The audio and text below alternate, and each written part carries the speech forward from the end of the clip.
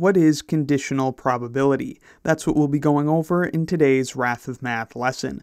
This is a viewer requested video. I always appreciate those viewer requests, so be sure to leave yours down in the comments. Conditional probability is a really important concept in probability theory, and we'll be introducing it with this example. What is the probability that at least one of two coin flips is tails, given that the first flip is heads? So here we are asked about the probability of a particular event given a specific condition. And that's why this is an example of a conditional probability. Let's represent this problem with a diagram. We'll say that this blue rectangle here is our sample space. Every possible outcome of our experiment of flipping two coins exists in this sample space. So if we think about probability as area, then the area of the sample space is 1, because there is a 100% chance that something in the sample space happens. What are the particular possible outcomes of our experiment? Well, we could flip heads heads, we could flip heads tails, we could flip tails tails, or we could flip tails heads. And in this case, all four of these outcomes are equally likely. They all have a probability of 1 half times 1 half, which is 1 fourth. And we can see that each one of these possibilities takes up 1 fourth of the total area of possibilities. What is the probability that at least one of two coin flips is tails if we have no other information? Well, there are three possible outcomes where we have at least one tails. These take up three fourths of the total probability in the sample space.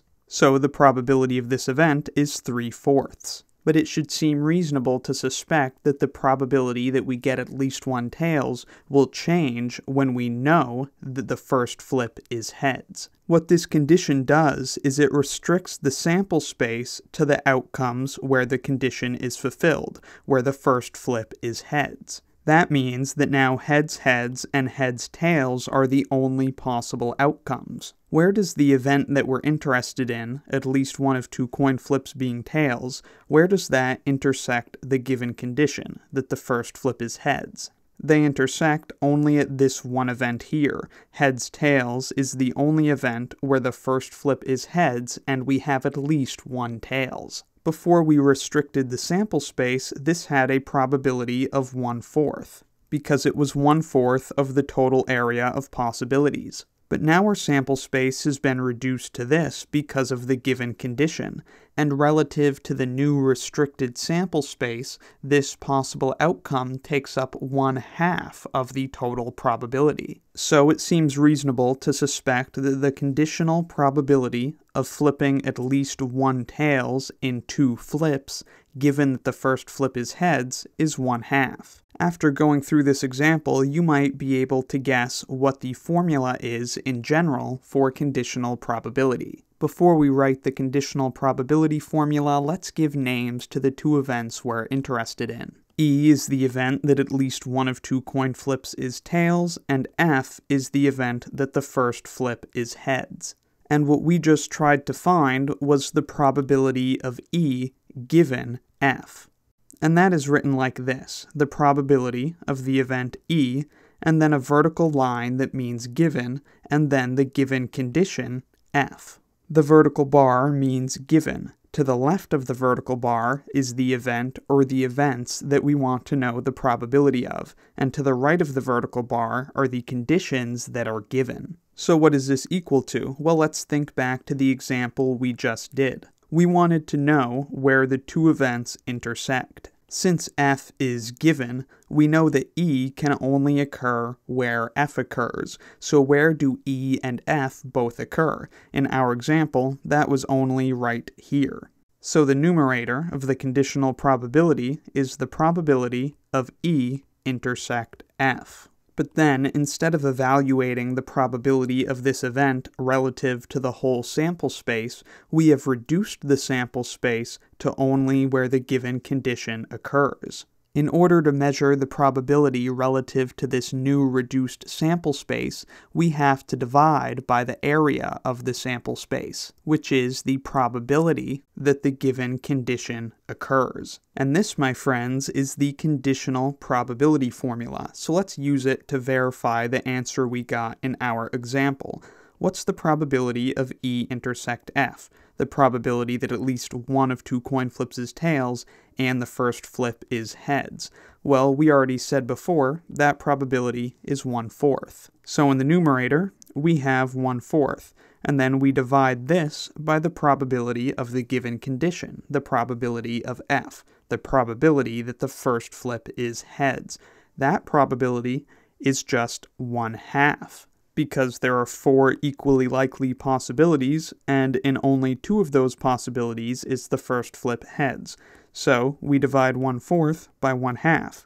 What's that equal to? Well, it is equal to one half. So that is how we calculate conditional probability. To find the probability of some event given some condition, we take the probability of their intersection and then divide by the probability of the given condition. Alright, now let's check out another example of conditional probability. Here's a probability theory classic. We're dealing with card decks. A random card is selected from a standard 52 card deck. What's the probability that the card is a king given that the card is red? First, let's name the events that we're interested in. K will be the event that the card is a king and then we'll say that R is the event that the card is red.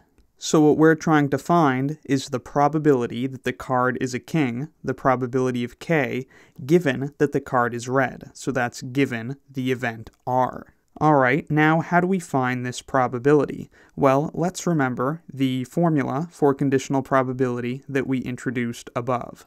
In the numerator, we have the probability of the intersection of the two events. So that's the probability that the card is a king and the card is red. But we want to know what this probability is relative to the new sample space, so we have to divide by the probability of the given condition, which is the probability of R. Alright, so what are these probabilities equal to? What's the probability that a randomly selected card from a 52 card deck is a red king? Well, there are two red kings, a king of hearts and a king of diamonds, and there are 52 equally likely cards that could be drawn. So the probability that the card drawn is a red king is 2 divided by 52. And then what's the probability that a card is red?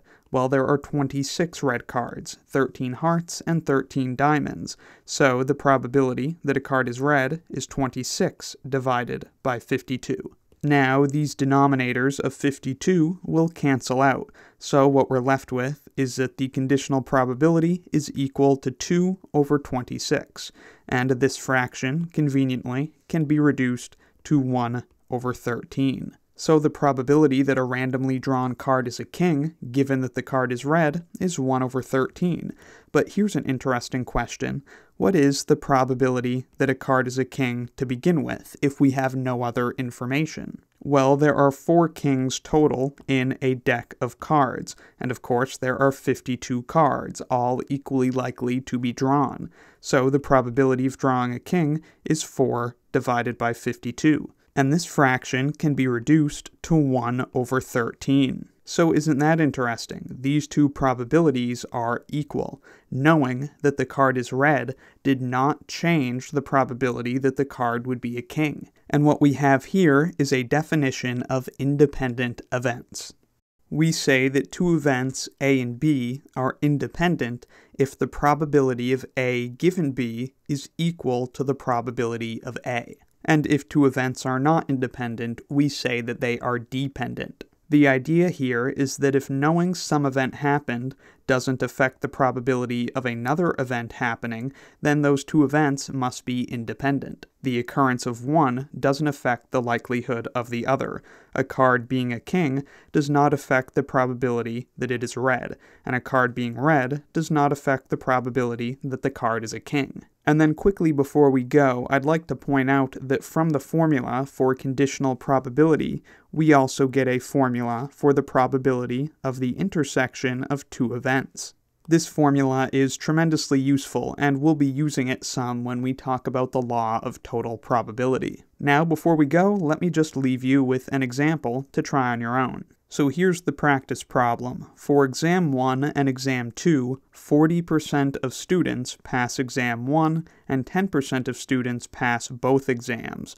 What percent of students who pass exam 1 also pass exam 2? So the given condition here is that a student has passed exam 1. Knowing that, what's the probability that the student will also pass exam 2? Let me know what you get down in the comments, and I'll leave the solution in the description. With that said, I hope this video helped you understand conditional probability. Let me know in the comments if you have any questions, need anything clarified, or have any other video requests. Thank you very much for watching, I'll see you next time, and be sure to subscribe for the swankiest math lessons on the internet. I can hear your voice from all the way up here, dear. Won't you please come to There's a light where I float that erases all black. It makes everything.